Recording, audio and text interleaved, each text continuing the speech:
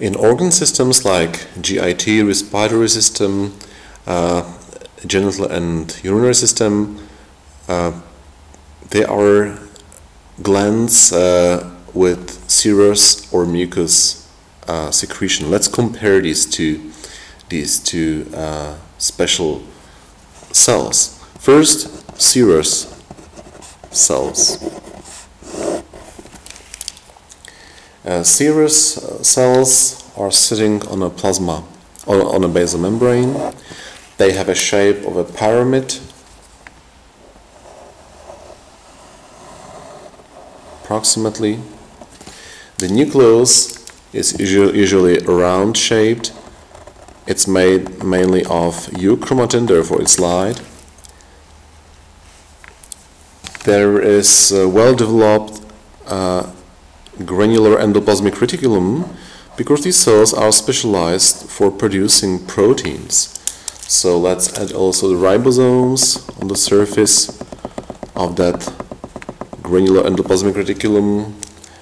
Let's add the Golgi complex responsible for preparing the molecules for exocytosis and especially in the apical region you can often find the secretory granules before they are released uh, outside.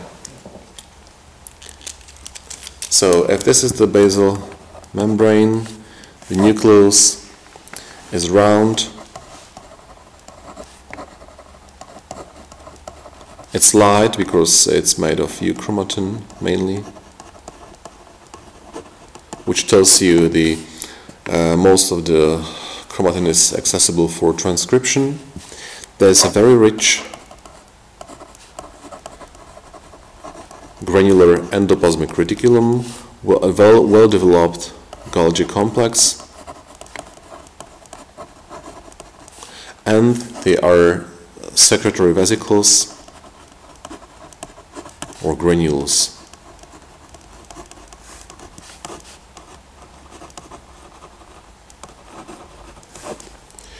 Especially the endoplasmic reticulum plus the secretory granules together are responsible for the basophilic staining. Uh, that means uh, dark blue, dark blue purple. Uh, so the serous cells are mostly basophilic. Let's compare it with the mucous cells.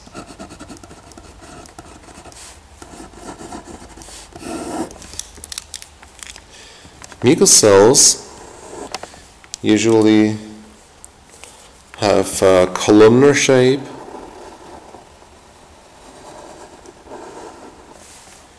The nucleus is compressed and the basal compartment mostly it's made of heterochromatin therefore it's dark. The other organelles are still there but definitely less developed than in serous cells because most of the cell interior is filled with granules made of complex polysaccharides.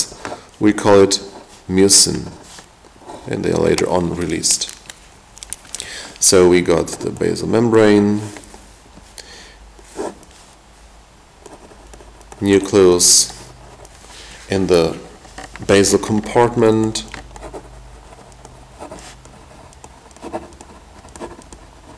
It's dark because it's made of heterochromatin.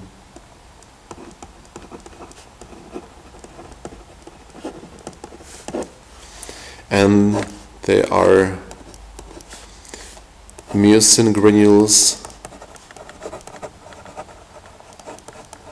And this mucin doesn't stain usually in the routine methods. So that's why the that's why the cells uh, are appear like white or clear. Now, uh, in the human body, you have glands composed of uh, solely serous cells composed of exclusively mucous cells or containing both types. And that's how you can classify serous cells, or uh, serous glands, uh, comprising all serous cells only. Uh, this is the example of parotid gland, the Ebner, Ebner's uh, glands of the tongue,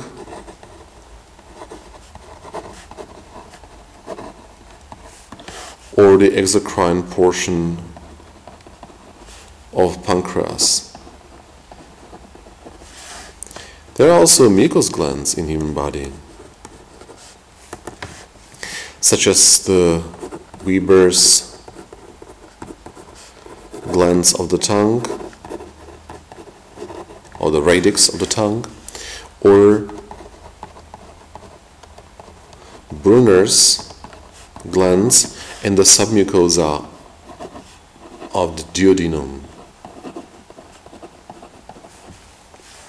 And there are glands where you can find secretory portions uh, made of serous cells and secretory portions made of mucous cells. You call it mixed or sero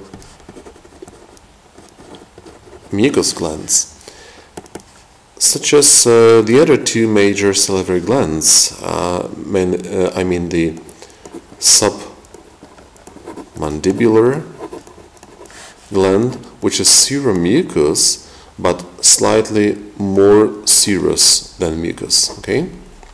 Or the sublingual gland, which is also serum seromucous but more mucus than serous. The fraction of mucus uh, units is, is larger than fraction of serous units or the glands in, in trachea, in bronchi,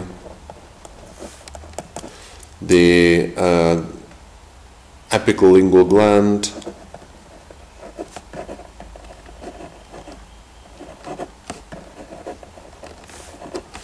uh, the labial gland, etc. Another type of classification of glands could be uh, secretion various secretion patterns.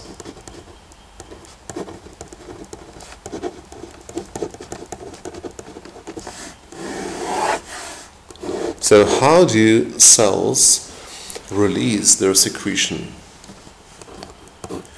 The first type, the cells are releasing the secretion in small quantities therefore not changing their shape.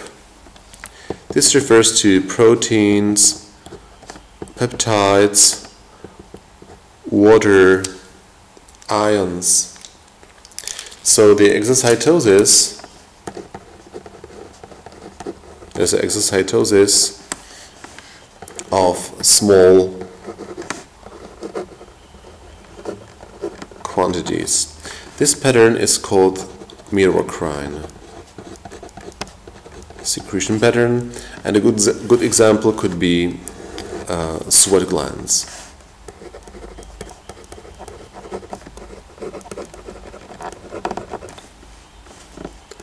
Another pattern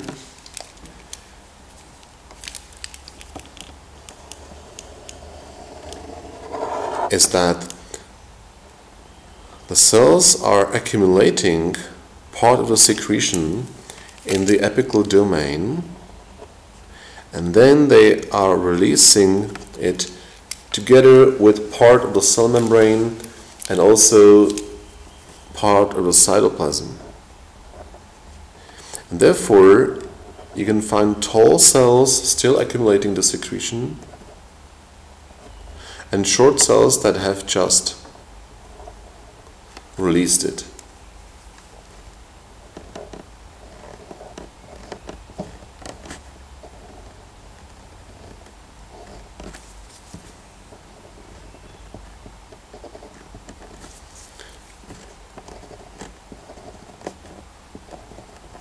So this uh, secretion pattern is called apocrine and uh, the substances that are released in this and this uh, way are usually lipids, droplets, or large proteins. And examples would be breast gland or apocrine sweat glands these are different glands than these ordinary sweat glands, which are also called eccrine sweat glands. Eccrine sweat glands are almost everywhere uh, in your skin. Apocrine sweat glands or aromatic sweat glands are only in specific locations such as the, the axilla, the armpit, the groins, they surround the external genital organs and the anus. Third mechanism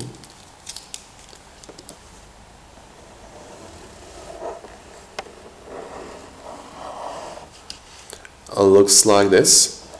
There are basal cells that are growing and proliferating, so new generations of cells are produced here, but as the cells are aging, they have a tendency to towards accumulating lipids, lipid droplets.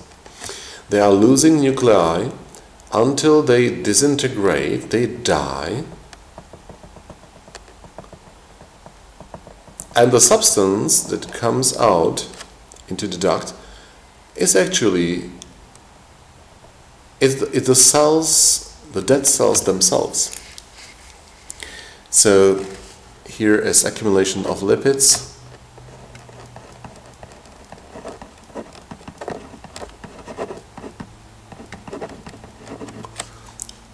Cell death and loss of nuclei.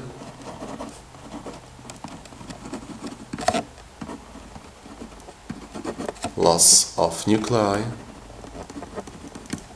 And this pattern is called holocrine secretion pattern. Examples are the sebaceous glands of the human body. Sebaceous glands and the secretion released from holocrine cell uh, glands is called sebum.